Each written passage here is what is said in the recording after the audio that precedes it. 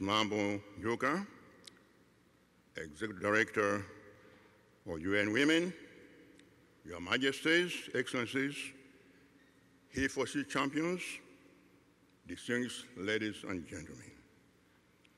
Uh, let me say first of all, I'm very, very pleased to be with you this morning because I always look forward to attend the he for she meetings. Let me begin this morning by placing due emphasis on the importance and place of women. More than half the world population comprises women. In most traditional societies, women are the foundations and keepers of societies. Women are our first teachers and healers in this world.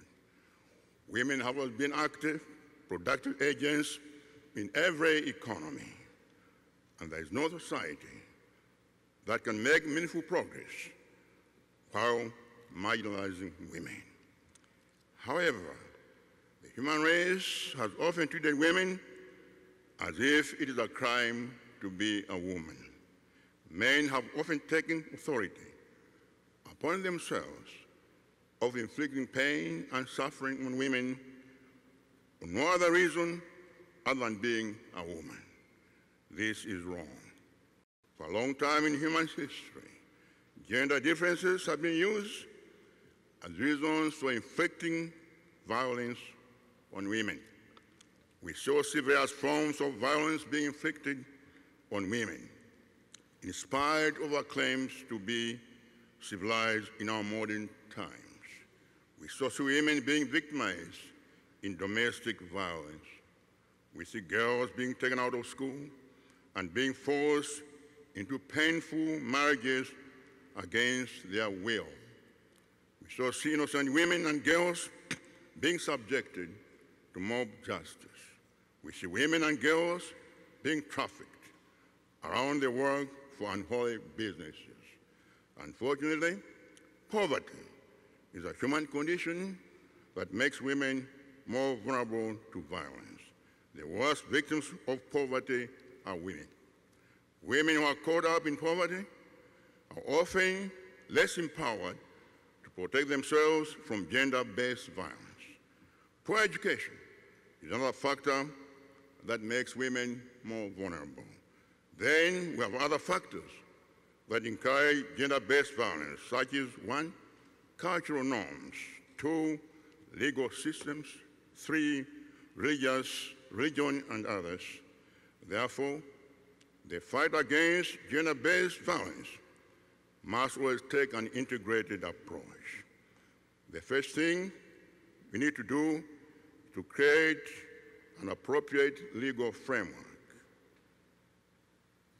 where women are protected by law and the laws must be enforced. But legal frameworks only work within a culture that is perceptive to legal prescriptions.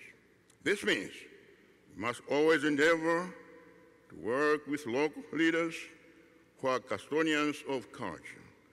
It's not enough to have the right laws. We must also have the willingness of the people to comply with the laws against gender-based violence. We must secure the participation of local leaders and various stakeholders who influence beliefs in our social fabric. Then both men and women must be convinced that the laws against gender-based violence are in their own interest to follow.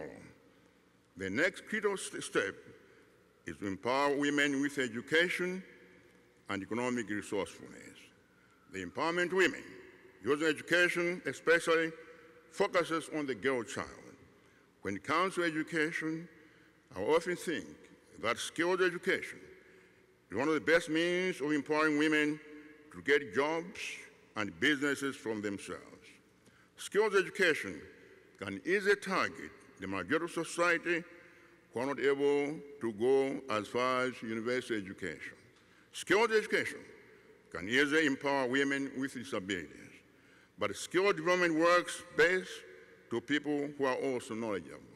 It means we must encourage every girl to access education as far as she can go. Access to education is imperative. Within this holistic approach, Malawi has undertaken a number of integrated measures to end gender-based violence. Our strategy begins with a girl child because we need to change our society and its future once and for all. We made a law ending early marriages. We want every child, every girl child, to earn education and get empowered to protect ourselves. This law will operationalize within a national strategy on ending child marriage. We have mobilized traditional leaders and work with them closely to protect the girl child. Most parents now realize the value of girls' education.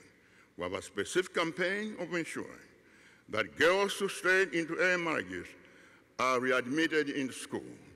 If the girl gave birth, most parents now accept responsibility of taking care of the child so that the girl can go back to school. We have started a number of school programs that encourage girls to stay in school. We have increased our national budget by 14% for child protection. This includes protection of the girl child. We have stepped up vigilance against domestic violence by, among other things, establishing a unit within our police stations that specifically attends domestic violence issues. As government, we are now moving towards establishing a Women Empowerment Fund. We are building community technical colleges across the country. This is a means of empowering youth and women to be economically self-dependent. Let me tell you a story of how community colleges empowered one girl who was subjected to gender-based violence. She was a young girl when she was pregnant. I believe she was 13. She left school and went home to nurse her pregnancy. The man denied responsibility and left her to raise the child alone. When he advertised the first intake of community technical college, she applied and enrolled. She was employed as supervisor of a construction company after she completed. Now she has built a three-bedroom house in the best part of town.